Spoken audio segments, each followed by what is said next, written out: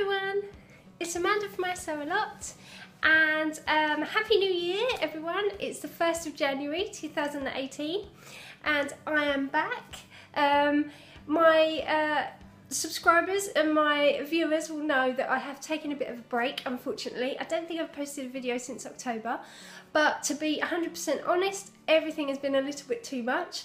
I've had quite a lot on my plate obviously as you know I have a young family, I work full time, I've recently started sewing classes and Christmas has been looming and everything was just a little bit too much. So unfortunately my priorities do not lie with vlogging. So apologies to everybody there but they don't. So um, that's had to take a bit of a back seat. Obviously it also interferes with my sewing time. Um, but yes so I'm back today with a different kind of video um, and it's all in relation to a new challenge that is being hosted by Hattie Sews, um, Athina Kakou and also Lisa Kisch. And I'll put their um, Instagram handles here. And any information or anything that you um, require to do with the challenge that I'm going to talk about I'm going to link everything down below. So you can hop over to Athina's blog, you can hop over to um, Hattie's channel and everything like that where they've spoken about it, they've given the instructions for the challenge and the rules and everything else. So you can hop over to any of those places and find out everything you need. Plus there's quite a lot um, of posts on Instagram which also clarify everything. So anyway, the challenge is Smyly 2018, um, which stands for Sewing Makes You Love Yourself. And um, I was approached by um, the ladies um, to be an ambassador for the challenge. Um, and they were very kind um, in their comments that I represent um, something that they feel is appropriate to this challenge, um, which is body positivity. And that um, I was quite touching for me because it's something that's quite close to my heart. Um, I think this challenge um, mainly is to deal with body positivity but also mental health. Um, I watched um, Hattie's uh, launch video this morning and again I was really touched by um, what sewing meant to her and how she has struggled in the past with mental health. Um, I don't really have um, much to say about the mental health side of it because I am extremely lucky in that I, to date, um, have never really struggled with mental health issues. Um, I have always been someone who just approaches things in a way of, well, I will get through it. I have had really hard times in my life. I've suffered profound loss. I've had, you know, everybody has their own issues that they've had to deal with. Um, but I think it just is in your makeup as to how you can effectively deal with those challenges. And I don't think, I think unless you have experienced mental health in your life, I don't really think that you can fully appreciate or understand it. So I'm not going to really comment on that.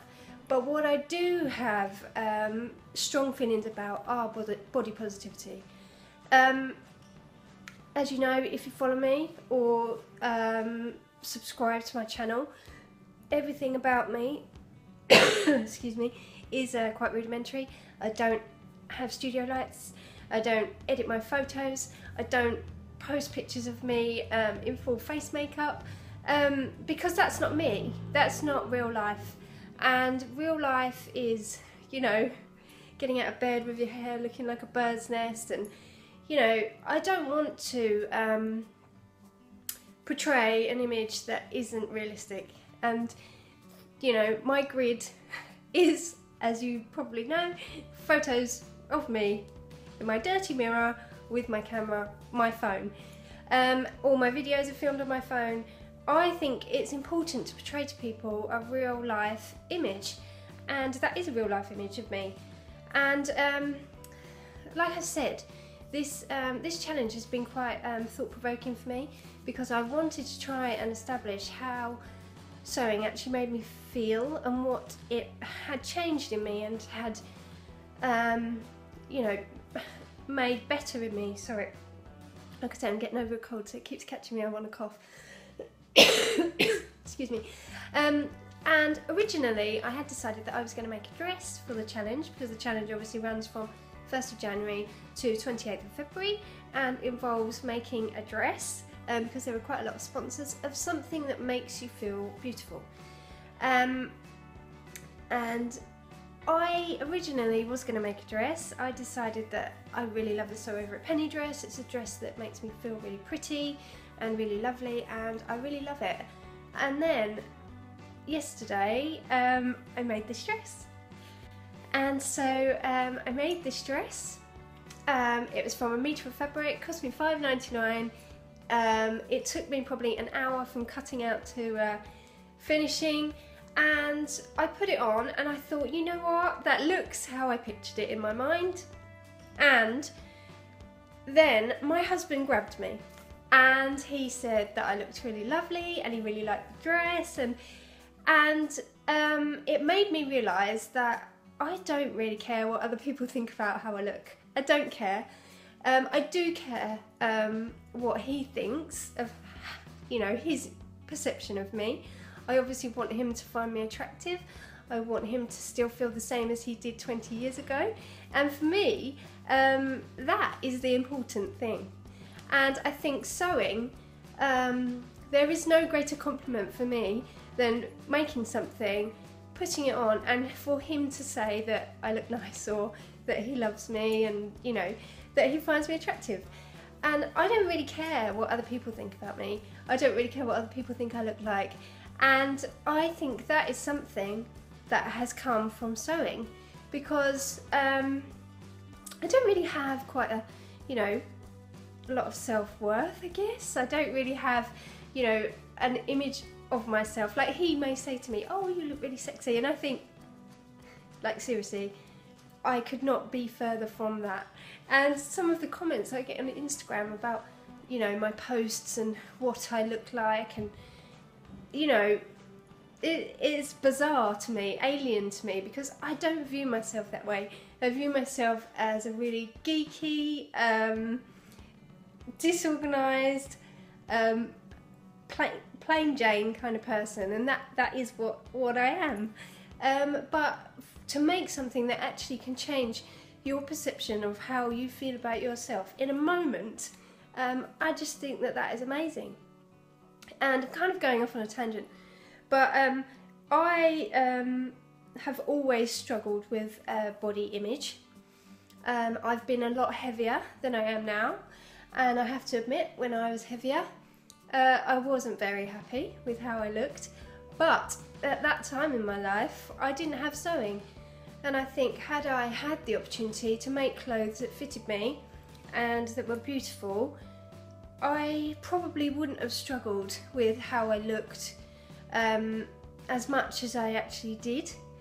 And um, because, you know, I've never been one to enjoy shopping, nothing ever looks on you how you picture it to be when you first see it on the hanger. I hate going shopping because nothing ever fits. I mean, who is that standard size? I don't know, even know who that person is, um, who those shops are catering for. You know, I have a small top, bigger hips, long legs, no boobs, skinny arms, you know, all these things. But the next person may have tiny hips and a bigger waist and bigger boobs and I just I just don't see how that kind of fashion and wearing ready to wear clothes can ever make you feel the same as wearing something that you've made that actually fits you. Um, so for me, sewing has really given me more of a um, positive body image because one, I don't really care what other people think about how I look because I know that I'm wearing something that I made and I love it, obviously, otherwise I wouldn't have made it. So um, yeah, I mean, I am all for body positivity and I, you know, I think nobody really knows a backstory of why you are the size you are or, you know, I have a lot of people comment on the fact that I am slight and, you know, from a outsider, it's easy for people to say to me, oh, you're lucky, you're lucky, you're really small or, you know, you shouldn't moan about your body and stuff like that. But they don't know the people who comment don't know, you know, I I have been smaller, I have been bigger, I have been unwell, I have been healthy, and I, I just think it's very easy for people to comment and they don't really know the backstory. And the way things are in, in this day and age, you know, um, we're constantly, you know, told how we should look, not just women, men as well. You know, this is the perfect lifestyle, this is the perfect body, this is the perfect skin, this is the perfect hair, but um, it's not real. It's not real. You know, people have bad hair days, people get spots, people eat too much at Christmas or get poorly and lose weight. And, uh, you know, I I openly admit uh, where I've been poorly in the past and I lost a lot of weight, I didn't find myself attractive at all. And I look at past videos and photos of myself where I was in a bad way, where I wasn't very well, and it makes me uncomfortable. Um, and yet I had people commenting on how good I looked and how, you know, I was lucky because I was small, but inside I was just not. I was, wasn't very well and I wasn't very happy and and I just think, you know, everybody else's input doesn't matter. It really doesn't matter. And I think you just need to be happy with the way that you are, regardless. You know, if you want to change it, if you want to be bigger, if you want to be smaller, then, you know, that's down to you to take the steps that you need to um, achieve your own personal goals. But it, it's nothing to do with anyone else, and there certainly shouldn't be any, you know, making people feel less than they are through, you know, off the cuff comments. And you know, I, I uh, recently there, there's a lady on Instagram, and um, I can't remember what she's called, but I'll put her handle here. And she's a 50 year old lady, and she decided to um, get fit.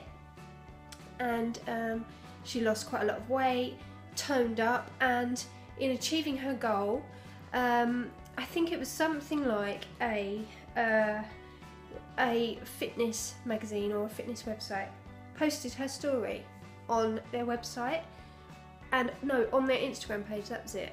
And the comments were obscene. There were so many people body shaming her. Mostly I have to admit when I was reading through mostly were younger people. And I just couldn't believe that people could be that um, mean. I just couldn't believe it. She was so proud of the fact that she'd lost weight and she'd got fit and she'd made this choice in her life that she was going to be healthy. And everybody was body shaming her and saying that she looked old and that she looked awful and what was the point and and I just think really seriously but it's crazy to me how we have come to this stage where it's okay to um, shame people and to make them feel less than they are. It's alien to me and I just don't understand it. But I'm all for um, feeling positive about the way that you look and using sewing to make you feel better. Because ready to wear clothes, let's be honest, are not going to make you feel better about yourself. With their wonky hems and their weird sizing and their just not flattering lines at all. So I think this is a really, really great challenge. And the dress that I made, I'm going to show you, I'll, I'll insert a picture, but it is a named, um, named clothing Paola which I've hacked into a dress. It isn't hemmed actually, I still need to do that. Um, but yeah, I just lengthened it and you know took into account my hips. But um, yeah, I think this is a really really great challenge, and I'm looking forward to seeing everyone's makes that make them feel lovely, and uh, such a great challenge. So like I said, I'm going to put all the um, information down below so that you can go and check out you know, in a more coherent way um, what this challenge is all about. Um, and I know that there is a lot, there appears to me to be quite a few stories on Instagram about people who have suffered with their mental health, and sewing has really helped them. And I think that is an amazing thing, you know, to be in a really dark place and to find something that can actually help bring you out of that. I think that is amazing. And yes, so I have about, I don't know, six, seven videos to catch up on, uh, know I'm really behind. So um, yeah, hopefully this year I'm going to get back on track and you're going to see more of me. So uh, thanks for watching and join in the challenge because it's really great and I'll see you soon. Bye.